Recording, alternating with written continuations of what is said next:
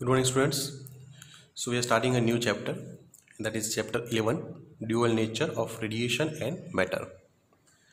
Now, very first point we have to see that is Planck explanation for radiation.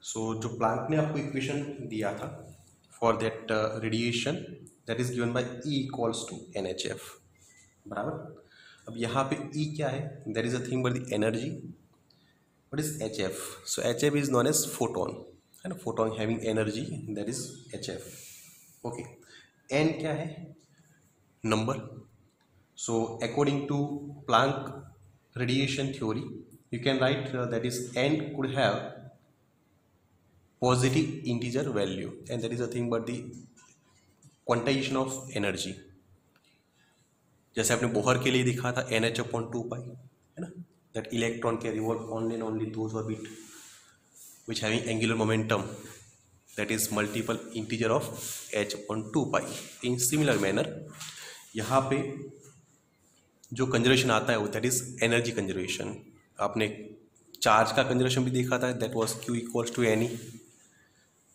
तो आपके पास तीन conservation है q equals to N E बराबर जो भी चार्ज अवेलेबल है that is a multiple integer of that is N और यहाँ पे क्या आएगा? इलेक्ट्रॉन आएगा। उसी हिसाब से आपने देखा था L equals to N H upon two pi है ना? ये भी क्वांटाइजेशन था। एन बराबर। उसी हिसाब से एनर्जी के लिए यहाँ पे भी क्या आएगा? एन आएगा। सो so, जो भी आपको एनर्जी मिलती है that is a thing but in terms of N in two H F and N could be having value one two three ये वैल्यू उसके पास हो सकती है। सो so, ये जो एच एफ़ है that is the thing but the energy of one photon if you have two photon you can have energy 2 hf 3 hf 4 hf so for n photon you can write e equals to nhf ठीक okay उसके बाद next देखना है आपको how the electrons are coming from any metal so that is the thing with the emission of electron so next point that is emission of electron emission of electron अगर कोई metal है और metal में से electron को आप बाहर ले लाते हो तो उसके लिए आपके पास कौन कौन से मेथड अवेलेबल है? So total you have three types for getting out electron from any metal first you having a thermionic emission second you having a field emission and third you having photoelectric effect. If you are talking about first harmonic emission तो इसके अंदर क्या होता है? Simply अगर आपके पास कोई डिस्चार्ज ट्यूब है अदरवाइज़ कोई बल्ब है, उसमें से आप करंट पास करो और हैवी करंट वो करंट पास करने से क्या होगा? जो भी वो वायर होगा, है ना, जो मेटल का बना हुआ है, उसका टेम्परेचर इंक्रीज हो जाएगा। और टेम्परेचर इंक्रीज होने की वजह से उसमें से इलेक्ट्रॉन बाहर आ जाएगा। सो so, ये जो मेथड है by increasing temperature of any wire any metal उसको हमने नाम दिया है थर्मोनिक एमिशन तो उसके लिए आपको मेन कंसेप्ट क्या चाहिए? Temperature should be twenty five hundred to three thousand kelvin so अगर इतना टेम्परेचर बना दोगे और उसमें से अगर इलेक्ट्रॉन बाहर आता है तो ये जो मेथड हुई इलेक्ट्रॉन को बाहर लाने के लिए, उसका हमने नाम दिया है थर्मोनिक एमिशन क्लियर सेकेंड आपके पास है फ़ीड एमिशन फ़ीड एमिशन इसके अंदर करना तो एक ही काम है हमको इलेक्ट्रॉन को ही बाहर लाना है फ्रॉम दैट मेटल सो यहाँ पे हम proper and strong electric field provide करते हैं। आपको ये भी मालूम है कि from electric field electric field की वजह से इलेक्ट्रॉन को एनर्जी मिलती है और वो इलेक्ट्रॉन बाहर आ सकता है। सो so, यहाँ पे अगर हमको कोई भी मेटालिक प्लेट में से इलेक्ट्रॉन को बाहर लाना है थ्रू फ़ील्ड एमिशन तो उस टाइम आपको ten power eight volt per meter इतना आपको इलेक्ट्रिक फ़ीड अप्लाई करना पड़ेगा पर मीटर देखो ten power eight volt so that is heavy range of electric field you are applying और उसकी वजह से जो भी इलेक्ट्रॉन बाहर आता है तो ये जो मेथड हो गई that is a thing but your field emission and third आपके पास है that is photo electric effect ये पूरे चैप्टर में आपको यही पढ़ना है फ़ोटो इलेक्ट्रिक एमिशन इसमें से भी इलेक्ट्रॉन को ही बाहर लाना है फ्रॉम एनी मेटल लेकिन यहाँ पे आप टेम्परेचर इंक्रीज नहीं करते हो नहीं कि आप इलेक्ट्रिक फ़ील्ड प्रोवाइड करते हो। यहाँ पे आप लाइट अप्लाई करते हो। और उसकी भी एक सफिशेंट फ्रीक्वेंसी होनी चाहिए। सो फ़ोटो इलेक्ट्रिक एमिशन क्या है कि अगर प्रॉपर लाइट अप्लाई करने से अगर इलेक्ट्रॉन बाहर आता है, कोई भी मेटालिक प्लेट में से सो so ये जो इलेक्ट्रॉन बाहर आता है, ये जो मेथड है इलेक्ट्रॉन को बाहर लाने के लिए उसका हमने नाम दिया है फ़ोटो इलेक्ट्रिक एमिशन। अब इसके अंदर आपको एक कंसेप्ट समझना है that is a thing but cut off frequency क्या होती है थ्रेश ऑफ़ फ्रीक्वेंसी क्या होती है। सो थ्रेश ऑफ़ फ्रीक्वेंसी हर एक मेटल के पास होती है, और आपको क्या करना है, आपको जो लाइट अप्लाई करनी है, वो थ्रेशोल्ड फ्रीक्वेंसी से ज़्यादा फ्रीक्वेंसी वाली होनी चाहिए। जस्ट फॉर एग्जांपल आपके पास ये मेटालिक प्लेट है, बराबर? और इसकी कुछ थ्रेशोल्ड फ्रीक्वेंसी है एफ़ ज़ीरो बराबर। आपने क्या किया? आपने बाहर से लाइट अप्लाई करी। लाइट की भी अपनी कुछ फ्रीक्वेंसी होगी। अगर अप्लाइड फ्रीक्वेंसी थ्रेशोल्ड फ्रीक्वेंसी से ज़्यादा है if F is greater than F zero then and then electron will come out from this metallic surface. तो ये कंडीशन है फ़ोटो इलेक्ट्रिक इफ़ेक्ट की। बराबर? Okay okay. उसके बाद नेक्स्ट आपको समझना है work function of any metal work function. अब ये वर्क फ़ंक्शन क्या है? सो so, इसको हम फाइव ज़ीरो से डिनोट करेंगे। एंड उसका इक्वेशन है एच एफ़ ज़ीरो। क्या इक्वेशन है? H F zero. Now it is work function. So that is a minimum amount of energy required to get electron out of metal. मतलब कि electron को अगर बाहर लाना है मेटालिक प्लेट में से तो आपको सफिशियंट कुछ एनर्जी चाहिए मिनिमम एनर्जी चाहिए कट ऑफ़ एनर्जी चाहिए। वही क्या है आपके लिए work function so what is work function minimum energy required to bring electron out of metal for example अगर हम बात करें सीजियम की तो सीजियम के लिए कुछ फाइव ज़ीरो आता है two point fourteen electronvolt potassium की बात करें two point thirty electronvolt sodium की बात करें two point seventy five electronvolt इसका मीनिंग क्या होगा? अगर आपके पास सीजियम है और उसमें से आपको इलेक्ट्रॉन बाहर लाना है फ़ोटो इलेक्ट्रिक इफ़ेक्ट आपको जनरेट करनी है तो सीजियम को आपको एनर्जी कितनी देनी पड़ेगी in terms of light more than two point fourteen electronvolt कितनी? More than two point fourteen electronvolt अगर आप अप्लाई करोगे तो उसमें से इलेक्ट्रॉन बाहर आ जाएगा। उसी हिसाब से पोटेशियम की बात करो। सो अगर पोटेशियम में पोटेशियम में से आपको इलेक्ट्रॉन बाहर लाना है तो आपको कितनी चाहिए? More than two point thirty electronvolt so ये होता है work function of any metal. Clear so photo electric effect क्या होती है? वर्क फ़ंक्शन का इक्वेशन एच एफ़ ज़ीरो अच्छा इसको आप रिप्लेस कर सकते हो आपको मालूम है? C equals to F lambda होता है। बराबर? सो so, एफ़ कितना हो जाएगा? सी बाय लेमड़ा ज़ीरो हो जाएगा है ना? तो इसको आप रिप्लेस कर सकते हो। सो so, अगर आप रिप्लेस करो तो क्या हो जाएगा? S C by lambda zero क्या बन जाएगा? S C by lambda zero अब ये लेमड़ा ज़ीरो क्या है? सो दिस इज़ बर दी अ थ्रेशोल्ड वेवलेंथ क्या है ये? थ्रेशोल्ड वेवलेंथ ये क्या है? थ्रेशोल्ड फ्रीक्वेंसी सो दो कंडीशन आपने रखनी है फॉर फ़ोटो इलेक्ट्रिक एमिशन एक F should be greater than F zero बराबर इलेक्ट्रॉन को बाहर लेके आना है तो फ्रीक्वेंसी ज़्यादा होनी चाहिए थ्रेश ऑफ़ फ्रीक्वेंसी से. अदरवाइज़ देखो लैमडा और फ्रीक्वेंसी आप देखो तो ये इनवर्स है ना? ये देखो ये ये इनवर्स है. सो so, इसके लिए अगर कंडीशन लिखनी है फॉर वेवलेंथ तो आप क्या लिखोगे? Lambda should be less than lambda zero ये भी कंडीशन है फ़ोटो इलेक्ट्रिक इफ़ेक्ट की, लेकिन इन टर्म्स ऑफ़ वेवलेंथ इसका मीनिंग क्या होगा? कि जो भी थ्रेशोल्ड वेवलेंथ है, ये वैल्यू ज़्यादा होनी चाहिए compare to applied light wavelength है ना? जो भी आप लाइट अप्लाई करो, उसकी वेवलेंथ होगी वो कम होनी चाहिए लेमड़ा ज़ीरो ज़्यादा होनी चाहिए। सो ये दो कंडीशन है, दोनों किसके लिए? फ़ोटो इलेक्ट्रिक एमिशन के लिए। So there is a three method है ना? फ़ोटो थर्मोनिक एमिशन क्या होता है? फ़ीड एमिशन क्या होता है? फ़ोटो इलेक्ट्रिक एमिशन क्या होता है? हर एक में से इलेक्ट्रॉन ही बाहर आपको लेके आना है। गेटिंग ओके उसके बाद नेक्स्ट देखते कौन कौन से एक्सपेरिमेंट हुए for the photo electric effect so first Hertz so scientist का नाम आपको मालूम है, बराबर? तो उसने फ़ोटो इलेक्ट्रिक इफ़ेक्ट के लिए एक्सपेरिमेंट किए। उसके बाद हॉलवास लिनार्ड्स सो ये सबने फ़ोटो इलेक्ट्रिक इफ़ेक्ट के लिए काम किया हुआ है। अगर हम इसकी बात करें हॉलवास की तो इन्होंने क्या किया था? एक जिंक की प्लेट ली थी, बराबर? इनिशियली पॉजिटिव चार्ज यहाँ पे रखा था।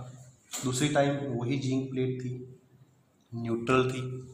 और थर्ड टाइम नेगेटिव चार्ज यहाँ पे रखा था। मतलब नेगेटिवली चार्ज जिंक, है ना? पॉजिटिवली एंड न्यूट्रल सो तीनों एक्सपेरिमेंट के अंदर उन्होंने जिंक की ही प्लेट ली थी, लेकिन पॉजिटिव न्यूट्रल एंड नेगेटिव उन्होंने हर एक बार क्या किया?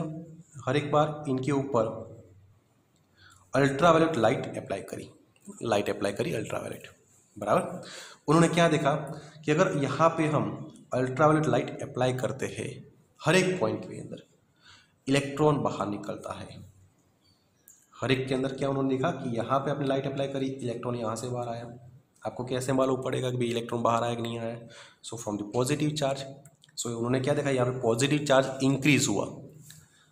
अब यहाँ पे अगर पॉजिटिव चार्ज इंक्रीज हुआ उसका मीनिंग क्या होगा? इलेक्ट्रॉन बाहर जा रहे होंगे। बराबर? यहाँ पे उन्होंने लाइट अप्लाई करी। बराबर? तो उन्होंने यहाँ पे क्या देखा कि ये प्लेट पॉजिटिव बनने लगी। अगेन सेम मीनिंग पॉजिटिव बन रही मतलब इलेक्ट्रॉन बाहर आ रहा है। और यहाँ पे देखो नेगेटिव चार्ज कम हुआ।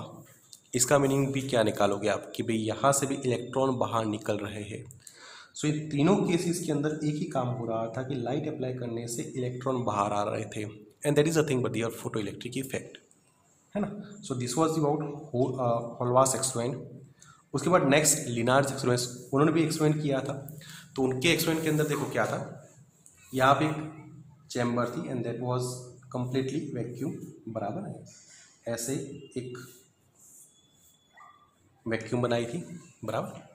अच्छा यहाँ पे उन्होंने एक विंडो रखी थी मतलब यहाँ पे थोड़ी जगह रखी थी जिसमें से लाइट एंटर हो पाए, और यहाँ पे दो प्लेट रखी थी। एक का नाम दिया कैथोड, एक का नाम दिया एनोड, बराबर? इसको कई बार आप कलेक्टर भी बोलते हो। फिर यहाँ पे लाइट अप्लाई करी, यहाँ पे अल्ट्रावायलेट लाइट यूवी लाइट बराबर? किसके ऊपर? ये कैथोड के ऊपर। ठीक है? यहाँ पे बैटरी बराबर? और यहाँ पे माइक्रो एम्पियर मतलब कि यहाँ पे एक ए मीटर रखा है। इसका काम क्या है? अगर यहाँ से सर्किट में से करंट पास होगा तो वो मेज़र करेगा वो डिटेक्ट करेगा। सो सिंपल सेटअप था। सो so, फिर से ये जो भी चैम्बर है that is a thing but the totally vacuum बराबर? यहाँ पे कोई एयर पार्टिकल नहीं है। यहाँ पे दो मेटालिक प्लेट है कैथोड है एनोड है। ये क्वार्ट्स विंडो होती है। मतलब कि यहाँ से लाइट आप अप्लाई करोगे डायरेक्ट वो कहाँ पे फॉल होगी? कैथोड के ऊपर फॉल होगी, बराबर? ये माइक्रो एमीटर वो करंट को डिटेक्ट करेगा। अब इनिशियली उन्होंने क्या किया? ये जो भी प्लेट थी, उन्होंने पॉजिटिव चार्ज रखा। क्या रखा? पॉजिटिव चार्ज यहाँ से लाइट को अप्लाई किया। लाइट को अप्लाई करने से अच्छा ये जो भी फ्रीक्वेंसी उन्होंने रखी थी that was greater than F zero मतलब कि ये जो प्लेट पे की है तो प्लेट ही होती ना? सो so, इनकी जो थ्रेशो फ्रीक्वेंसी होगी उनसे ज़्यादा फ्रीक्वेंसी इन्होंने अप्लाई करी थी। So when F is greater than F zero यहाँ से इलेक्ट्रॉन बाहर आया और यहाँ पे पॉजिटिव चार्ज रखा था। सो so, अट्रैक्ट होने की वजह से ये इलेक्ट्रॉन यहाँ पे जाने लगा। सो इन शॉर्ट कि जो भी इलेक्ट्रॉन यहाँ से बाहर आए यहाँ पे जो भी इलेक्ट्रॉन बाहर आए वो कहाँ पे चले गए? कैथोड पे चले गए। सॉरी यहाँ पे कहा एनोड पे चले गए ना? ऐसे। और उसकी वजह से आपको यहाँ पे करंट मिलने लगा। ये उसके फ़र्स्ट पार्ट था। अब सेकेंड पार्ट के अंदर उन्होंने क्या किया? यहाँ पे नेगेटिव चार्ज रखा। यहाँ पे क्या रखा? नेगेटिव मतलब यहाँ पे जो भी पोटेंशियल रखा वो नेगेटिव बनाया है उन्होंने। तो बस यहाँ पे नेगेटिव प्लेट लगाओ यहाँ पे पॉजिटिव लगाओ ऐसे। यहाँ पे बैटरी कनेक्ट कर तो नेगेटिव चार्ज यहाँ पे आ जाएगा पॉजिटिव ये पोटेंशियल बन जाएगा।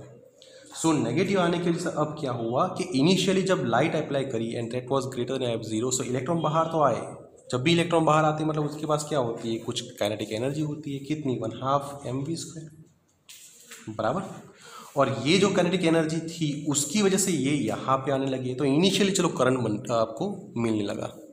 लेकिन क्या हुआ? जैसे जैसे इन्होंने नेगेटिव चार्ज यहाँ पे इंक्रीज किए जैसे जैसे यहाँ पे नेगेटिव चार्ज मतलब ये जो पोटेंशियल था नेगेटिव पोटेंशियल उनको यहाँ पे इंक्रीज किया उन्होंने। पहले माइनस वन वोल्ट रखा, फिर माइनस टू वोल्ट रखा, फिर माइनस थ्री वोल्ट रखा। सो जैसे जैसे नेगेटिव पोटेंशियल यहाँ पे इंक्रीज करते गए, वैसे वैसे इलेक्ट्रॉन यहाँ से जो यहाँ पे आ रहे थे, उनकी वैल्यू कम होने लगी। ऑब्वियस है कि भाई रिपल्सन होगा रिपल्सन से क्या होगा? ये इलेक्ट्रॉन सब यहाँ पर नहीं जा पाएँगे। फॉर एग्ज़ाम्पल पहले हंड्रेड जा रहे थे फॉर एग्ज़ाम्पल कितने हंड्रेड। तो अब क्या हुआ? एटी जाने लगे। उसके बाद और नेगेटिव पोटेंशियल इंक्रीज किया सिक्सटी हो गए। उसके बाद चालीस फिर ट्वेंटी। एक टाइम ऐसा आया कि एक भी इलेक्ट्रॉन यहाँ पे नहीं जा सकता था। सो so, ये जो पोटेंशियल था उस टाइम कि एक भी इलेक्ट्रॉन यहाँ पे नहीं आता था और ऑब्वियसली करंट तो पहले से डिक्रीज होने लगा था। जैसे जैसे नेगेटिव पोटेंशियल इंक्रीज किया करंट रिड्यूस होने लगा। सो करंट क्यों रिड्यूस होता होगा? क्योंकि इलेक्ट्रॉन यहाँ पे नहीं जा रहे थे। एक टाइम ऐसा आया कि यहाँ पे कोई एक पर्टिकुलर वैल्यू पे, एक पर्टिकुलर नेगेटिव वोल्टेज पे एक भी इलेक्ट्रॉन यहाँ पे नहीं आ सकता था और इसको उन्होंने नाम दिया। This is non a stopping potential this is the thing what stopping potential so stopping potential एक वोल्टेज है, जिसकी वजह से इवन हाईएस्ट जो कनेटिक एनर्जी होती है इलेक्ट्रॉन की वो भी इलेक्ट्रॉन ये प्लेट से ये प्लेट पे नहीं आ सकता था। And that is a thing but stopping potential for any metallic plate आएगा समझ में? सो so, उन्होंने इक्वेशन कौन सा बनाया इसके ऊपर से? तो उन्होंने इक्वेशन बनाया one half M V square maximum equals to so that comes out one half mv square maximum equals to nothing but the what ev zero. So ये इक्वेशन आपको याद रखना है फ्रॉम दैट लीनार्स एक्सपेरिमेंट ये क्या है? Maximum kinetic energy of electron this is the but your stopping potential getting okay now इसके जो कंक्लूजन है ये एक्सपेरिमेंट की ये कंक्लूजन आपको याद रखना है। फ़र्स्ट क्या है? कि अगर आप यहाँ पे जो इलेक्ट्रॉन बाहर आ रहा है उसके पास काइनेटिक एनर्जी तो होती है। सो so, जो भी काइनेटिक एनर्जी होती है इलेक्ट्रॉन की वो किसके ऊपर डिपेंड करेगी? That is depends on frequency of applied light so first point आपको क्या रखना है कि अगर ये इलेक्ट्रॉन बाहर आ रहा है तो उसके पास जो काइनेटिक एनर्जी होती है वो किसके ऊपर डिपेंड करेगी? फ्रीक्वेंसी अगर फ्रीक्वेंसी इंक्रीज होगी काइनेटिक एनर्जी इंक्रीज होगी. अगर फ्रीक्वेंसी डिक्रीज होगी काइनेटिक एनर्जी डिक्रीज होगी. और अगर फ्रीक्वेंसी थ्रेशोल्ड से कम हो गई तो फ्रीक्वेंसी कम होने की वजह से यहाँ पे थ्रेशोल्ड से कम होगी तो यहाँ पे काइनेटिक एनर्जी ही नहीं आएगी. सो so, अल्टीमेटली ये रिलेशन में है. कौन कौन kinetic energy and frequency and frequency and that is directly frequency increase करने से कैनेटिक एनर्जी इंक्रीज होती है। बराबर? अच्छा। सेकेंड पॉइंट है कि अगर आपने लाइट की इंटेंसिटी इंक्रीज कर दी फॉर एग्ज़ाम्पल आप टेन वोल्ट का बल्ब लिया ट्वेंटी का लिया फिफ्टी का लिया हंड्रेड का लिया मतलब कि आप क्या कर रहे हो? इंटेंसिटी इंक्रीज कर रहे हो। सो इंटेंसिटी इंक्रीज करने से नंबर ऑफ़ इलेक्ट्रॉन्स इंक्रीज होते हैं। ये जो भी इलेक्ट्रॉन यहाँ से बाहर आते हैं ना, वो किसके ऊपर डिपेंड करते हैं? That depends on intensity of electron sorry intensity of light है ना? जैसे जैसे इंटेंसिटी इंक्रीज होगी वैसे वैसे number of electrons coming out from that metallic plate increases third point कि फ़ोटो इलेक्ट्रिक इफ़ेक्ट के लिए कंडीशन क्या होनी चाहिए? F should be greater than F zero and last this process is uh, you can say within fraction of second ये होती है. That is instantaneous होती है. एट द टाइम होती है एट द पर्टिकुलर इंस्टेंट जैसे आप लाइट अप्लाई करी फ्रीक्वेंसी ज़्यादा है, तुरंत इलेक्ट्रॉन बाहर आ जाएँगे।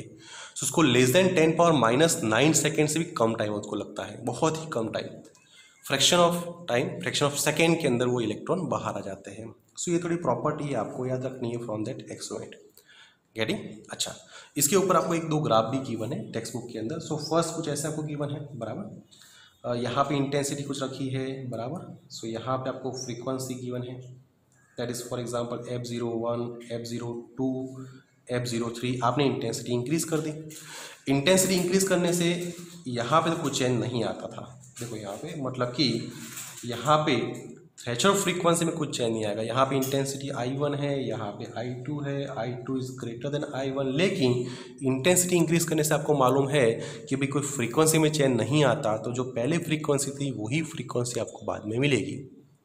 बराबर? और एक दूसरा ग्राफ को दिया है and that is a thing but the और यहाँ पे स्टॉपिंग पोटेंशियल है एंड यहाँ पे कुछ आपको स्टॉपिंग पोटेंशियल यहाँ पे गिवन है, बराबर? तो आपको मालूम है कि इनिशियली अगर आपकी frequency up to threshold frequency नहीं होगी, तब तक कोई पोटेंशियल नहीं मिलेगा। देखो ये so up to threshold frequency यहाँ पे कोई कैनेडिक नहीं होगी। बराबर? तो यहाँ पे एफ़ ज़ीरो तक स्ट्रेट लाइन उसके बाद, जैसे आप फ्रीक्वेंसी इंक्रीज करोगी कैनेडिक एनर्जी इंक्रीज होगी स्टॉपिंग पोटेंशियल इंक्रीज होगा सो ये ऐसे आ जाएगा स्ट्रेट लाइन और अगर आप इसको एक्सटेंड करो यहाँ पे तो आपको एक इंटरसेक्स पॉइंट यहाँ पे मिलेगा। That is a thing but the H F zero by E बराबर? सो ये दो ग्राफ आपको, ये जो एक्सप्लेनेशन है फ़ोटो इलेक्ट्रिक इफ़ेक्ट ये आपको समझाते हैं। बराबर? अब जो भी आइंस्टाइन का इक्वेशन है इसके लिए सो हम नेक्स्ट लेक्चर के अंदर नेक्स्ट वीडियो के अंदर कवर करेंगे। ठीक है? Thank you